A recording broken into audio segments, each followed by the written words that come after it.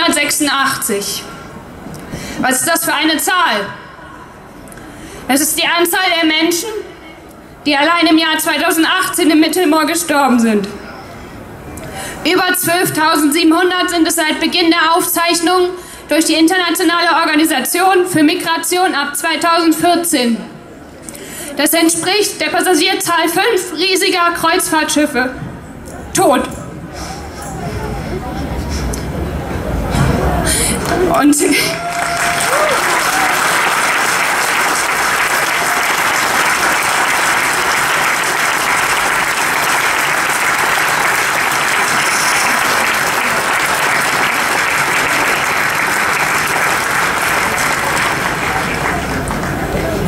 Und die Dunkelziffer ist noch um einiges höher.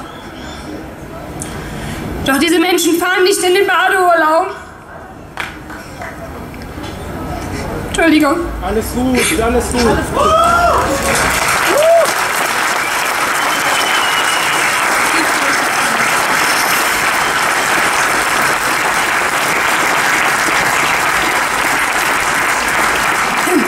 Sie fliehen aus ihren Heimatländern und lassen ihre Liebsten zurück. Sie treten eine lebensgefährliche Reise ins Ungewisse an. Aus Angst.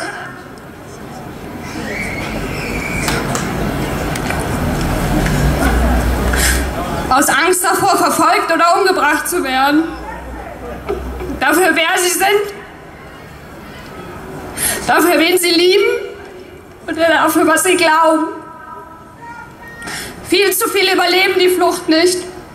Und das Traurige ist, so viele Tote im Mittelmeer hätten verhindert werden können. In diesem Moment gibt es acht einsatzfähige Rettungsschiffe privater Seenotrettungsorganisationen in den Häfen im Mittelmeerraum. Doch die meisten Schiffe sind festgesetzt.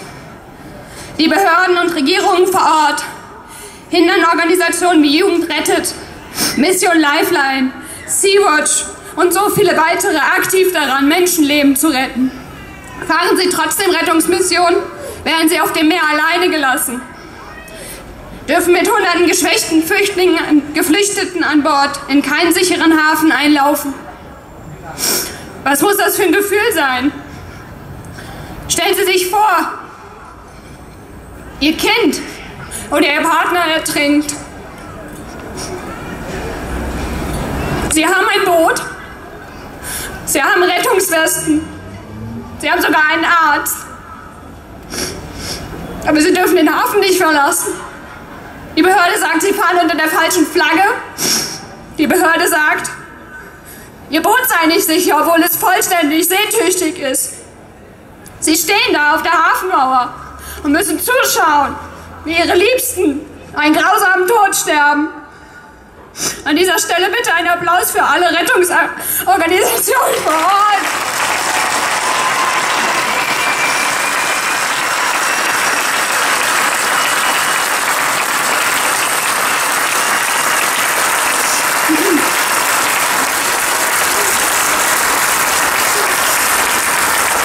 Danke.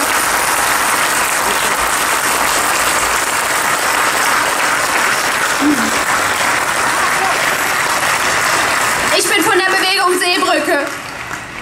Die Bewegung steht für Solidarität mit Geflüchteten und Seenotrettern im Mittelmeerraum. Seit Ende Juni konnte die Seebrücke bereits mehr als 100.000 Menschen in über 150 Städten in Deutschland und Europa auf die Straße bringen. Die Bewegung fordert sichere Fluchtwege und Häfen, die Entkriminalisierung der Seenotrettung und Bewegungsfreiheit für alle, egal wo sie herkommen und egal wo sie hinwollen.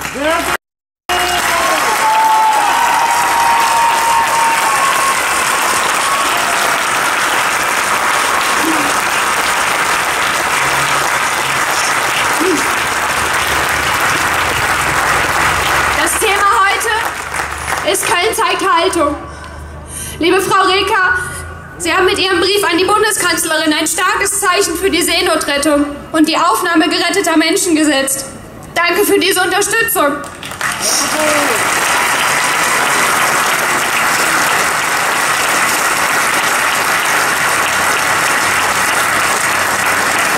Wir finden es toll, dass Sie Köln zum sicheren Hafen für in Not geratene Flüchtlinge machen wollen. Denn wie Sie ganz richtig gesagt haben, Köln wäre ohne Migration nicht denkbar. Doch auf dem Mittelmeer sterben immer noch Menschen.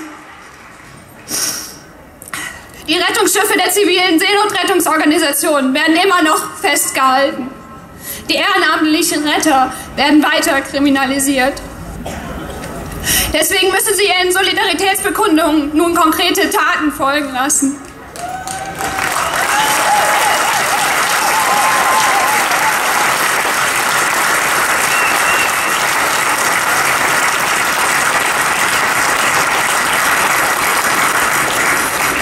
Wir von der Köln fordern Sie darum auf, sich jetzt auf allen Ebenen für Seenotrettung und die Aufnahme geflüchteter Menschen einzusetzen. Die Kölnerinnen sind bereit und in der Lage, eine offene und solidarische Gesellschaft zu gestalten.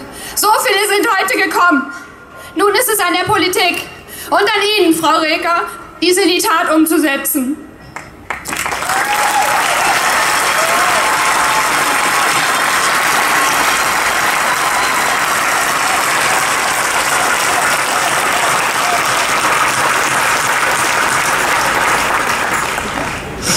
In einem offenen Brief an Sie haben wir unsere Forderungen vor kurzem noch einmal deutlich gemacht. Nutzen Sie alle Spielräume auf kommunaler Ebene, um geflüchtete Menschen aufzunehmen und eröffnen Sie ihnen Bleibeperspektiven in Köln. Machen Sie unsere Stadt gemeinsam mit den Kölnerinnen zu einem sicheren Hafen. Ja.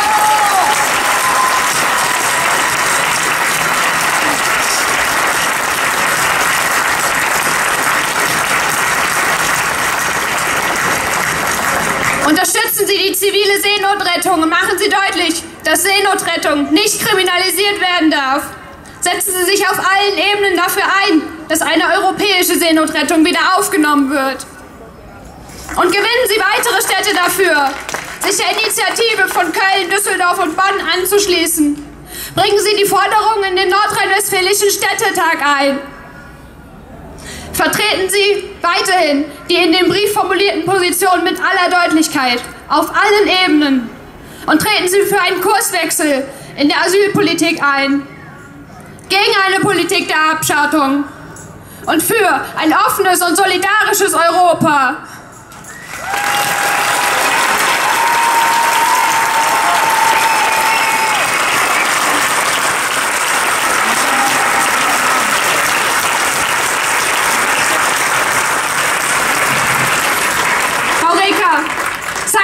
Haltung mit den Kölnerinnen für die Seenotrettung und die Aufnahme von Geflüchteten. Seenotrettung ist kein Verbrechen. Menschen sterben zu lassen, ist das Verbrechen. Ja!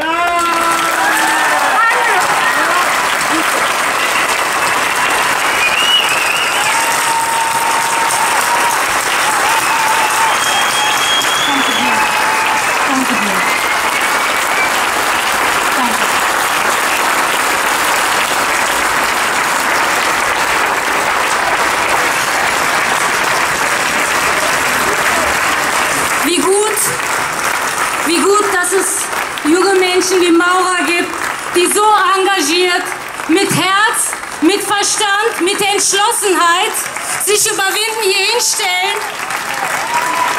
und obwohl es verdammt schwer ist, reden. Ein Riesenapplaus für Maurer und die Seenotretter. Und Maurer hat nicht alleine geweint hier vorne, doch ich mit einem dicken Kloß im Hals an, das geht um Menschen. Menschen leben und Menschen sterben. Wir haben viel in der Hand. Wir haben in diesem Block der starken Frauen in den zivilgesellschaftlichen Organisationen vor allen Dingen die starken Frauen und jetzt kommt noch eine starke Frau und zwar Aisha